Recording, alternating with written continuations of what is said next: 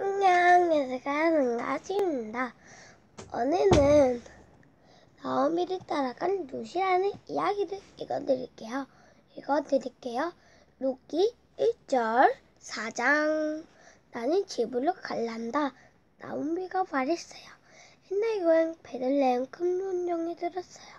나오미는 남녀가 둘을 데리고 멀은 모함의 땅에 이사 왔어요. 나오미는 이제 할머니가 되었어요.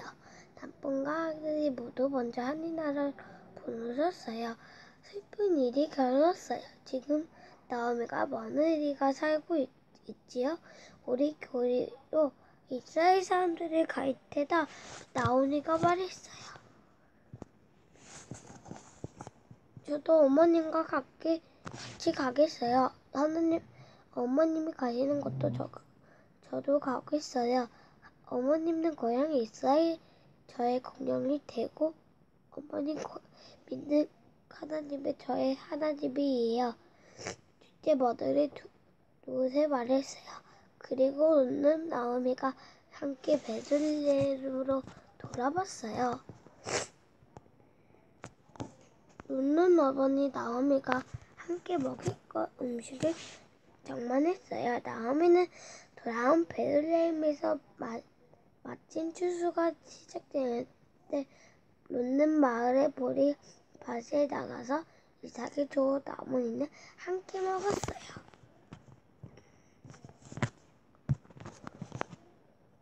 롯이 이삭의 바다를 주는 보, 보아스였어요. 시어머니들 저렇게 정성이 다 섬기다니 착한 여자군. 롯는 정 모이스가 생각했어요. 롯는 부지런히 이삭이 주었어요. 모이스 롯는 이삭이 많이 줄 수 있도록 도와주셨어요. 이삭을 맛있게 있도록 돌봐주었어요. 보, 보이스는 마, 마음씨 착한 부자였어요. 나오미는 육가 말했어요. 이삭의 바쁜 남편의 죽음은 가장 가까운 정과 결혼하게 된, 되어 있단다. 모이스가 너를 좋아하면 가, 가장 가까운 적이 결혼하는 것은 어떡하니? 엄마가 나오미를 말대로 모이스를 롯과 결혼했답니다.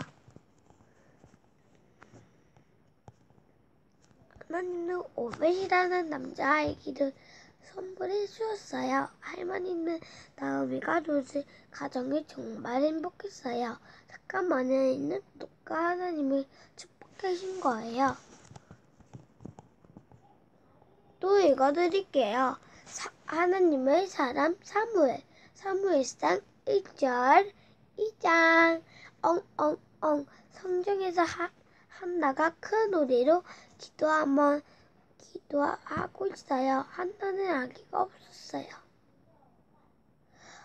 남편의 알과 나의 언제나 사랑으로 어, 마음으로 자상을 몰아주었지만 엘리사가 다음 분이를 보내다는 한나를 괴롭힌 마음을 아프게 했어요.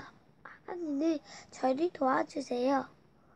저에게 아기를 주세요. 아기가 주신다면 그 아기를 하나님께 드리겠어요.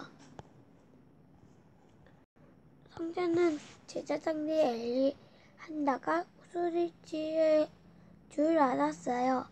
아니 아고말이 술을 끊어 술을 끊어야지요. 한나는 엘리 자상에서 말했어요. 저희 술 취하는 취한 게 아니고 저 나무가 괴롭히고 기도하고 있는 거예요. 그러자 엘리 지상제는 한나를 말했어요. 편안한 마음으로 하세요. 하나님이 기도를 들어주실 거예요. 한나는 더 이상 슬퍼하지 않았어요. 한, 이후 정말로 하나님이 한나에게 아기를 주셨어요. 한나는 너무나 기뻐서 아기 이름을 하나님의 기도를 들으셨다는 뜻으로 사무엘이라고 지었어요. 어, 누나가 말하고 있는 거예요.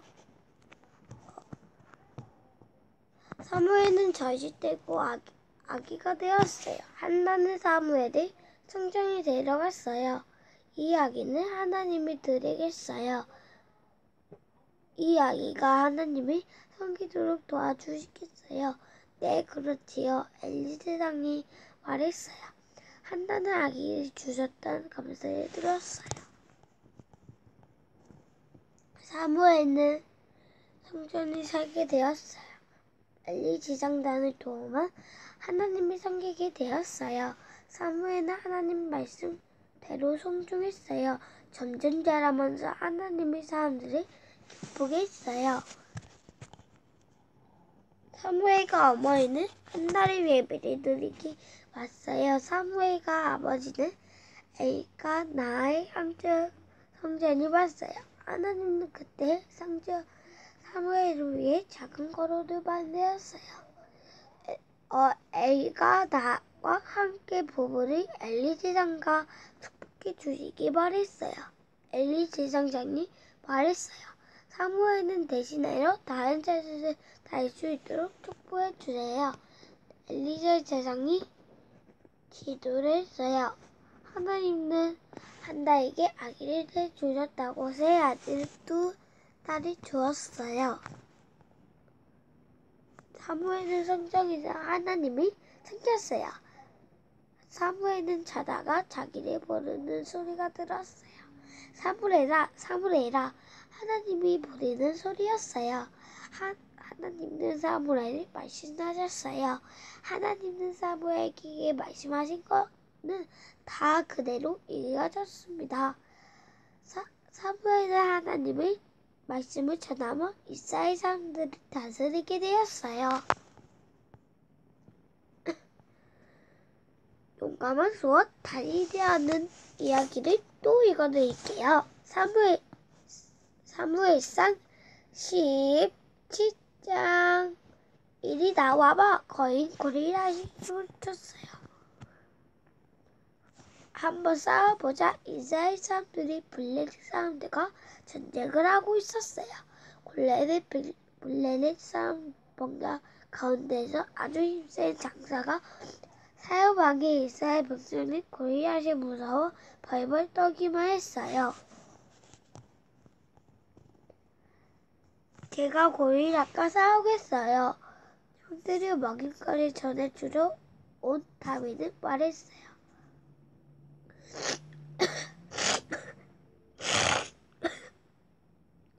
하나님 군대를 바보처럼 화가 났는데 너 아직 어린이 저 골리라의 싸움을 잘하는 군인인데 다윗은 왕이 사흘이 물었어요. 저가 양떼를 돌볼 때 사자가 곰이 양을 빼앗으라고 할 때 저가 혼내주었어요. 골리앗도 하나님이 도와주셔서 이게 해주실 거예요. 사은웅 왕이 자식 감옥과 머리를 투구를 빌려주셨어요. 하지만 너무 커서 이길 수가 없었어요. 다윗은 마태기가 돌을 고릴라떼 그리고 맨물 손에 들고 있는 고릴라떼가 어요 고릴라는 성깔이 불수하고 잘생긴 어린 어린 다윗이 나오자 기분이 나빴어요. 맞대기를 가루라고 내가 강아지인 줄 알았나? 나는 이스라엘 하나님의 이름으로 너에게 간다. 내가 하나님의 군, 군대를 였겠지. 너를 이겨서 온 세상의 이스라엘 사람들이 살아계시는 것을 알려줄 테다. 하나님의 칼이나 창도 필요 없다. 다윗은 용감하게 다윗의 주머니를 돌멩이를 꺼내 맹물을 맹물을 던져 던졌어요. 생각하고 날아가는데 둘은 고일앗의 이마에 맞았고 고일앗은 앞으로 넘어졌어요. 다윗은 고일앗에 뛰어가서 칼을 뺏겼어요. 블레셋 사람들은 도망키라 이스라엘 군인은 블레셋 병사들이 쫓아가서 완전히 무너뜨려 무, 무찔렸답니다. 다윗아 너는 매우 무방하거나 용감한 소년이다. 사울이 말해 사울 왕이 말했어요. 다윗은 정말 용감했답니다. 사람들은 다윗이 대단하고 칭찬했어요. 하지만 다윗은 하나님이 도와주신 것을 알고 있었어요. 오늘은 이만큼만 읽어드릴게요. 오늘은 어, 만담 스토리를 읽어봤는데 어땠어요? 됐나요? 그러면 다음에 또 봐요. 안녕.